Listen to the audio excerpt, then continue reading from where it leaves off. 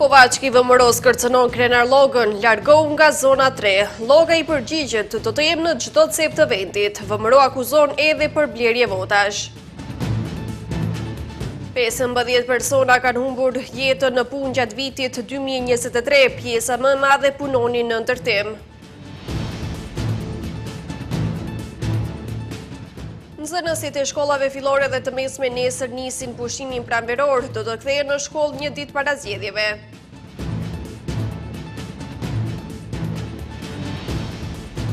Sondazhi i Gallup tregon se Biden është presidenti më pak i popularizuar amerikan në 70 vitet e fundit.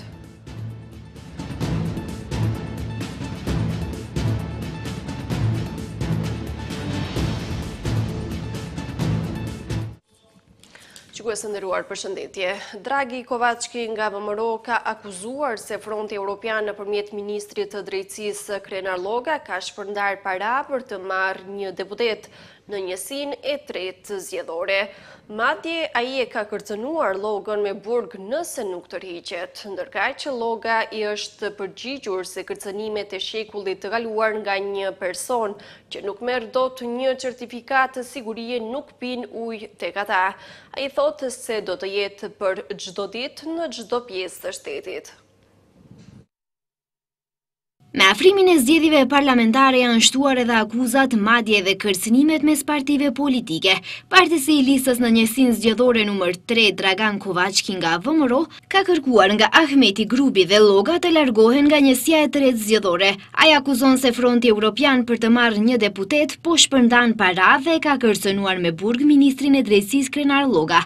Lloga i është përgjigjur kolonelit të paaftë siç e quan ai Kovaçkin, se në njësinë e tretë zgjedhore ka gjithsej njëzet e tetë mijë e shtatëqind e njëzet e pesë votues të papërfaqësuar në Kuvendin e Maqedonisë së Veriut.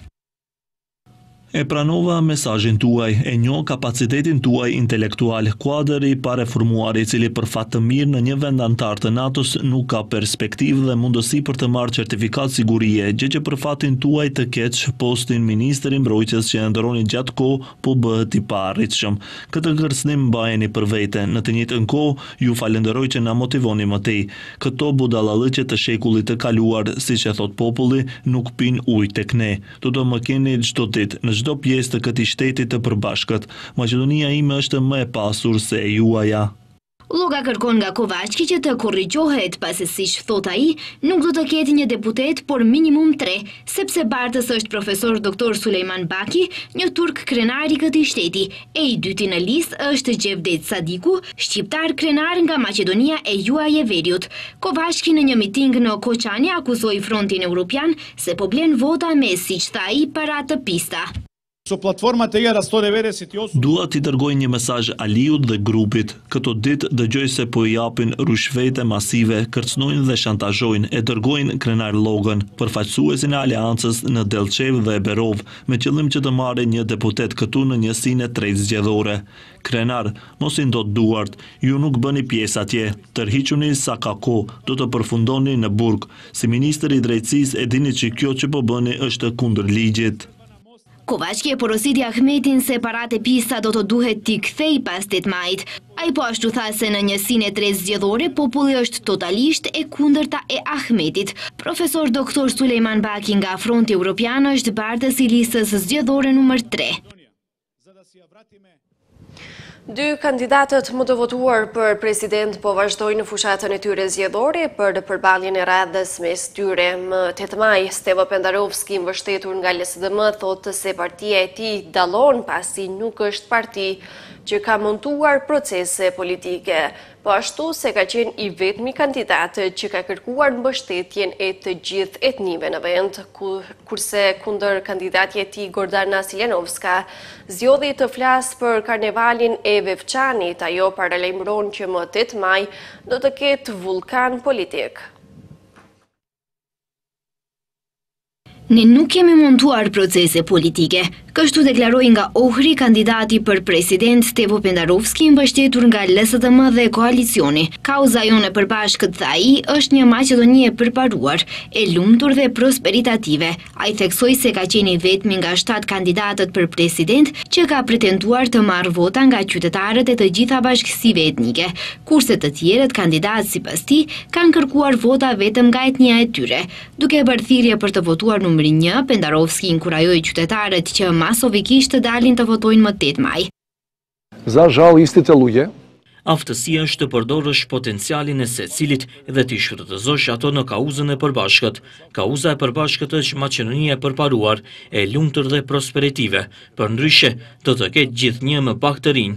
Ju e dini që nga një regjistrim në tjetrin kemi humbur dyqind mijë njerëz. Dhe kjo është arsyeja pse nuk kemi nevojë për ndarje të reja, Ne nuk kemi thyer procedurat e demokracisë në parlament, nuk kemi qenë kurrë në aleancë me nëntokën, me krimin, për të ngacmuar kundërshtarët politik, ne nuk kemi montuar procese politike.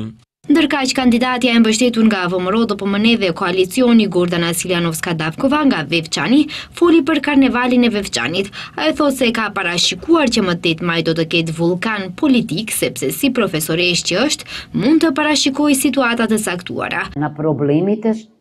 Vevçani është krenar.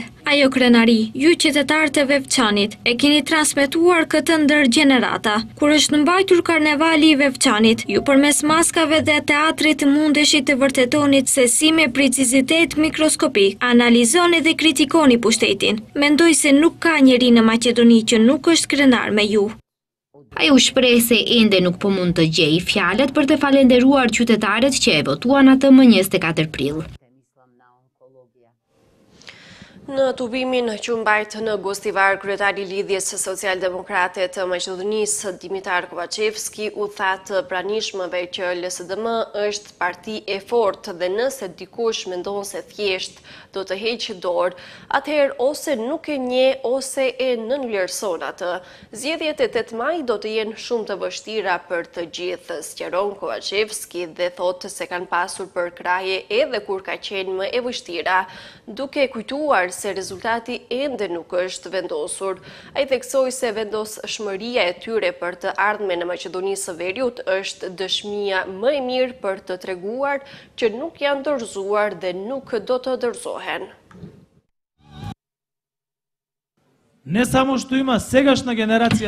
LSDM është e vetmja forcë politike që di ta bëjë këtë, prandaj të jeni të sigurt, që së bashku me qytetarët me kokën lart, më 8 maj do të shkojmë sërisht në zgjedhje dhe do të themi sërisht po. Ne jemi ata që jemi për një Maqedoni progresive, të përparuar Europiane.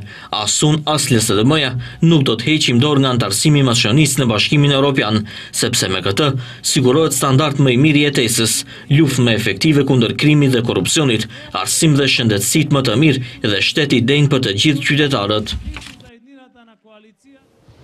Kryetari i VMRO-DPMNE-së, Hristijan Mickoski në Koçan ka deklaruar se LSDM është bashkëpunëtor besnik në çdo krim dhe tender të BDI-së. Ai shtoi se është hipokrizi që BDI-ja dhe LSDM-ja thonë se kanë marrë vendime të guximshme e ky guxim sipas Mickoskit Është shitja e emrit kushtetues për të problematizuar historinë dhe për të qenë sërisht para dyerve të BE-së. Mickoski theksoi se LSDM dhe BDI janë të gatshëm të bëjnë gjithçka vetëm për të mbajtur mandatet dhe privilegjet e tyre.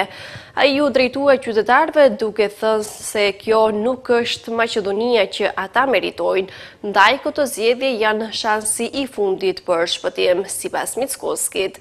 LSDM dhe BDI kanë në mendje dy skenarë. Kjo është arsyeja pse ata kërkojnë një rrugëdalje në të dy skenarët. E para është bojkoti i qetë i zgjedhjeve presidenciale që ata po mbrojnë, ndërsa rrahin gjoksin se do të dalin në raundin e dytë. Në fakt, duan të punojnë për një bojkot të heshtur dhe zbutur atmosferën e zgjedhjeve. Skenari i dytë është ai i Kovaçevskit, që i bëri ofertën më bujare Ali Ahmetit. Ahmeti ka marrë një fletë të bardhë nga Kovaçevski, në të cilën duhet të shkruajë vetëm institucionet dhe ministritë që dëshiron t'i marrë. Qytetarët nuk kanë kanalizim dhe kushte elementare kurse flitet për vlera dhe fronte europiane, kështu dërgoi porosi kryetari i Lëvizjes Demokratike që është pjesë e koalicionit VLEN Izet Mexhiti. Ai bëri me dije se pikë e programit të tyre politik është kërkesë prej pesëqind milionë eurove për investime në vendbanime dhe komuna. Më tej shtoi se nuk duan të përsëritet ajo që politikanët që pasi t'i fitojnë votat dhe të emërohen në pozita të larta në qeveri, zëvendës kryeministër, ministër i Punëve të Jashtme, qytetarët e Çairit të mos fitojnë asgjë nga ato, përveç një çerdhe e cila po zvarritet.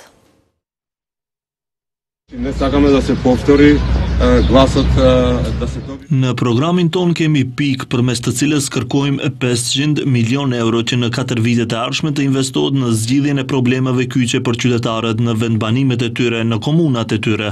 Vetëm në atë mënyrë mund të pretendojmë për vlera evropiane dhe fronte evropiane dhe jo si deri më tani me mungesë kanalizimi dhe probleme elementare Kurse flasim për vlera evropiane dhe fronte evropiane.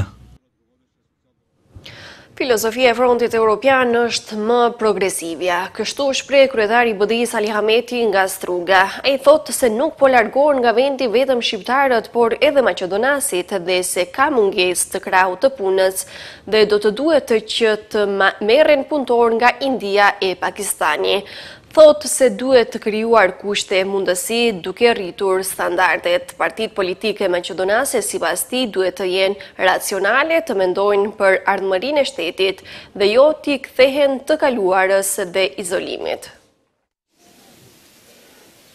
Fitoren Fronti e ka vendos me njëzet e katër prill. Të gjithë ata, të cilët nuk na kanë votuar, Ia kanë shtuar ngjyrat demokracisë, por me tetë maj t'i afrojmë, t'i afrojmë të gjithë në këtë referendum, a do shkojmë me hapat e duhur drejt anëtarësimit në Evropë, apo do të ngelemi tek izolimi. Do të thotë, formula është e kjartë, do ecim drejt integrimit, Sipas njohurive tona, VMRO-DPMNE aktualisht është e ekspozuar ndaj presioneve serioze nga bashkësia ndërkombëtare, si dhe nga BDI dhe nga ekstremistët shqiptarë të opozitës shqiptare. Kështu ka thënë Lupço Ristovski, kryetari i partisë Integra dhe bartës i listës zgjedhore 2. Orekset po rriten seriozisht dhe siç thotë, ekstremizmi shqiptar nuk po pushon por po koordinohen mes tyre. Glavni te politiçki založbi na integra.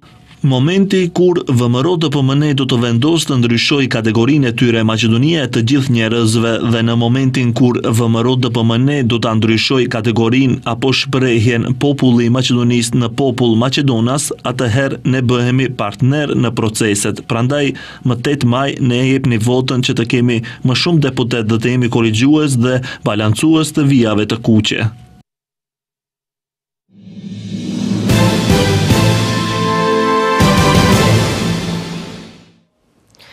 Pesëmbëdhjetë persona kanë vdekur në punë gjatë vitit 2023. Raporti i Shoqatës për Siguri në Punë tregon se e premtja ka qenë dita më me shumë aksidente fatale ndërsa ndërtimtaria është fusha që ka pas më shumë aksidente.